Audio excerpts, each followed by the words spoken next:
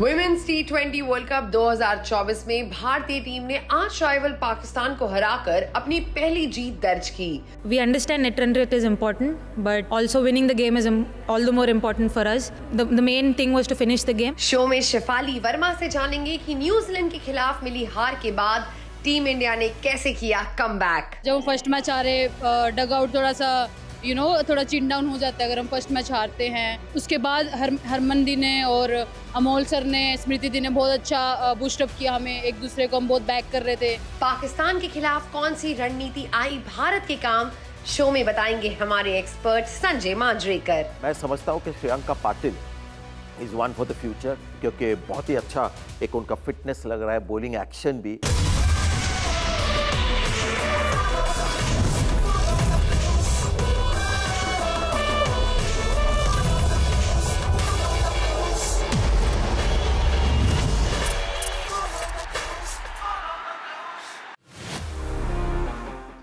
हमारी women's cricket team ने greatest rivalry का लेटेस्ट चैप्टर लिख दिया, जिसका गवाह बना दुबई। जी हाँ भारत ने पाकिस्तान को छह विकेट से हराते हुए women's T twenty world cup 2024 की अपनी पहली जीत दर्ज की। मुकाबले से जुड़ी हर रोचक कहानी के साथ एक बार हम फिर हाजिर हैं। नमस्कार फॉलो द ब्लूज में आपका स्वागत है। आइए एक नज़र डाल लेते हैं टीम इंडिया के वर्ल्ड कप शेड्यूल पर। न्यूजीलैंड के खिलाफ भारत को अपने पहले मुकाबले में अट्ठावन रनों से मिली थी हार। लेकिन कल पाकिस्तान के खिलाफ वापसी करते हुए टीम इंडिया ने छह विकेट से जीत हासिल की। और अब हमारी वुमेन अपने अगले लीग मुकाबले में 9 अक्टूबर को श्रीलंका से टकराएँगी। साथ ही 13 अक्टूबर को अपनी आखिरी लीग मैच में टफेस्ट राइवल ऑस्ट्रेलिया से होगा सामना। महामुकाबले में जीत की पहली नींव अरुंधति रेड्डी और श्रियंका पाटिल ने रखी, जिन्होंने पाकिस्तानी खिलाड़ियों के आठ में से पाँच विकेट अपने नाम किए। लेकिन इस जीत के साथ श्रीलंका के खिलाफ मैच से पहले भारतीय टीम के लिए कुछ मुश्किलें ज़रूर दिखी, जिसमें पहली कप्तान हरमनप्रीत के चोट को लेकर है, जिन्हें गर्दन की चोट के चलते मैदान से बाहर जाना पड़ गया। तो दूसरी मुश्किल फील्डिंग के दौरान नज़र आई। वहीं नेट रन रेट को बेहतर करने का हाथ आया मौका भी भारतीय बल्लेबाजों ने गवा दिया नेट रन रेट को लेकर क्या बोली मैच की हीरो रही अरुंधति रेड्डी आइए आपको सुनाते हैं I think we just went by what was happening. Like you said, today the pitch was little on the slower side. We knew that uh, you know we couldn't start start off as freely as we could because it was a little on the slower side. So the plan was to for the openers to see it off and see how the wicket is um, playing and then you know finish accordingly. It's been a long time, four years, but uh, again, honestly, with me right now, the focus is to do well for the team. I know I'm much prepared now than what I was back in 2020, but um, again, uh, I've come into this setup with a lot of confidence, and I know I can deliver for the team as and when it's required. So I'm just looking forward to keep doing that, keep continuing to win games for India. Honestly, the last couple of years, I've tried to really work on my bowling as a complete T20 bowler. Uh, again, there's a lot of work that's gone behind it. Um, because I wanted to bowl at be a bowler who can bowl in all phases. I look forward to being that bowler who can bowl in all phases. So the preparation has been accordingly, and it, it, it's something that I've been working out for two years. Uh, so I know I'm, I'm a lot prepared as of now. Like I said, I, I know I'm confident enough to that, that I can deliver for the team as and when it's required. We understand net run rate is important, but also winning the game is all the more important for us. Um, like you said again net run rate will be in play especially in this group honestly today the wicket was playing a little slower so obviously the bat- batters could not uh, the, the main thing was to finish the game but but yeah we, we've discussed about it and we'll, we are looking forward to improve on it in the next few games Pakistan के खिलाफ 106 रनों के target का पीछा करते हुए power play में भारतीय बैटर्स काफ़ी धीमे दिखे। हालाँकि शिफाली वर्मा ने टीम के लिए सबसे ज़्यादा 32 रनों की पारी खेली। स्मृति मांदना के जल्दी आउट होने के बाद शिफाली ने जेमेमा रॉड्रिक्स के साथ मिलकर तीसरे विकेट के लिए तिरालीस रन जोड़े। टारगेट चेस करते हुए वुमेन स्पिन अटैक के सामने मज़बूत दिखी। टीम इंडिया के इस जीत पर क्या बोली शिफाली वर्मा? आइए सुनते हैं।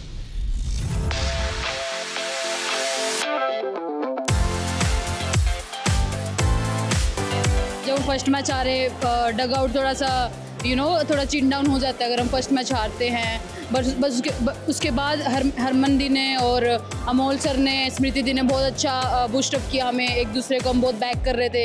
एंड पाकिस्तान से जीते, बहुत खुशी है। और एक नाउ वे इन टूर्नामेंट सो बहुत खुशी है इस चीज़ की।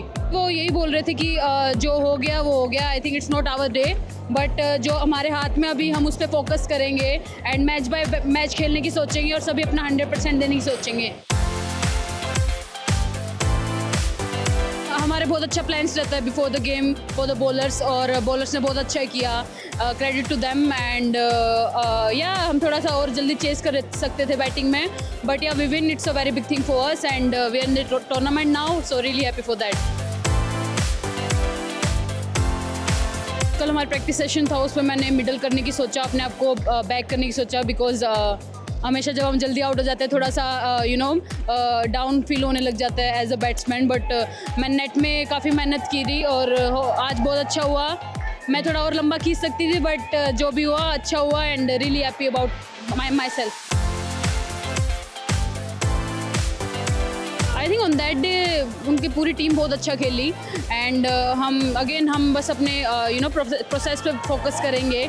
Uh, सब अपना बेस्ट देने की सोचेंगे individual and hopefully will win that game बहुत अच्छा क्राउड था एंड वो बहुत बूस्टअप मिला। और जब भी पूरा क्राउड आता है और हमें चेयर करता है वो एक अलग ही बूस्टअप आ जाए तो thanks to you guys keep keep coming keep cheering India and hopefully will win every game Pakistan के खिलाफ टीम इंडिया की रणनीति कैसे आई काम और श्रीलंका के खिलाफ होने वाले मुकाबले के लिए क्या होना चाहिए गेम प्लान? जानेंगे हमारे एक्सपर्ट संजय मांजरेकर से।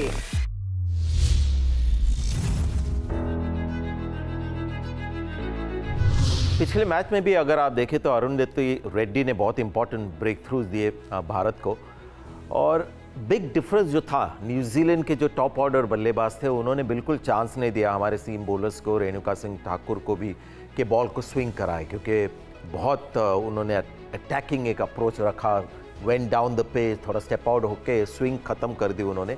पाकिस्तान के बल्लेबाजों ने वो किया नहीं तो एक मौका मिल गया। रेणुका सिंह ठाकुर ने पहला विकेट लिया उसके बाद Arundhati Reddy could do her thing लेकिन आ, मैं समझता हूँ कि Shreyanka Patil is one for the future क्योंकि बहुत ही अच्छा एक उनका फिटनेस लग रहा है बॉलिंग एक्शन भी।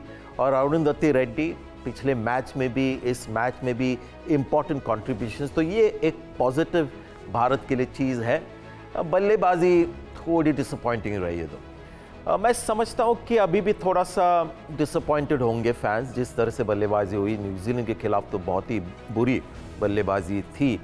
प्रॉब्लम ये हो रहा है कि जो पिच सूट करती है, शेफाली वर्मा को या स्मृति मंदाना को भी, उस तरह का पिच दुबई में नहीं है। हमने देखा मिताली राज पिच रिपोर्ट में कह रही थी कि स्पंजी बाउंस है तो बॉल थोड़ा सा धीमे आता है जैसे इंग्लैंड में आता है। और वो आइडियल सरफेस नहीं, शफाली वर्मा के लिए भी और मंदाना के लिए भी, क्योंकि वो पेस चाहते हैं बाउंड्री से स्कोर करते हैं। तो कहीं ना कहीं थोड़े रन मिले हैं शफाली वर्मा को, लेकिन पहले छः ओवर में या पाँच ओवर में उनको शायद मुझे लगता है सिर्फ़ चौके छक्के के बारे में सोचना नहीं चाहिए, थोड़ा एक दो भी गैप में डालकर अगर करें तो प्रेशर थोड़ा सा कम हो जाएगा और ये स्मृति मंदाना के लिए भी अप्लाई होता है। मैं समझता हूँ कि भारत ये मैच जीतना चाहिए। भारत एक अच्छी टीम है, टॉप थ्री टीम्स इस ग्रुप में है, इंडिया, न्यूजीलैंड और ऑस्ट्रेलिया। तो श्रीलंका एशिया कप में ज़रूर हराया होगा, लेकिन इंडिया का ट्रैक रिकॉर्ड श्रीलंका के साथ अच्छा है। और तब तक दुबई का जो पिच है, उसको पूरी टीम बिल्कुल यूज़ टू हो जाएगी। और अतपतु जो उनके प्लेयर है श्रीलंका के टॉप ऑर्डर प्लेयर अगर उनको आप जल्दी आउट ले लो तो उतनी डेप्थ भी श्रीलंका के बल्लेबाजी में है नहीं। एक अच्छे आ, उनके पास लेफ़्ट आर्म स्पिनर है कुमारी नाम के तो वो आ, शायद बहुत जल्दी गेंदबाजी करने के लिए आएँगे भारत के खिलाफ। लेकिन मैं मानता हूँ कि भारत तीसरी बार उसी वेन्यू पे खेलते हुए बिल्कुल ज़्यादा तैयार होगा। एंड मे बी उस मैच में आप you'll see India at the best follow the blues के हमारे इस एपिसोड में अभी के लिए इतना ही। लेकिन hashtag follow the blues के साथ सोशल मीडिया पर अपनी राय और विचार देना बिल्कुल ना भूलें। अब आपसे टीम इंडिया के अगले मुकाबले के दिन सुबह नौ बजे फिर होगी मुलाकात।